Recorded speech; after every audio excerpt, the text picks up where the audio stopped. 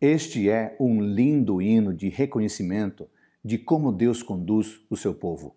O autor nos desafia no seguinte: lembrem-se das maravilhas que Deus fez, mas, sobretudo, lembrem-se da sua aliança, lembrem-se da sua aliança. Mas que aliança é esta? Sabe qual é? É a aliança da salvação. Amigo, amiga, a história da salvação pode se resumir ao seguinte: o Deus de amor enviou seu filho para morrer em nosso lugar. Você já aceitou essa salvação? Você desfruta dessa salvação? Que bom, que ótimo! Mas se você não aceitou ainda, não perca mais tempo. A salvação é uma oferta gratuita e está disponível para você agora. Que tal fazer essa oração? Que tal orar a Deus pedindo a salvação na sua vida? Que Deus abençoe você.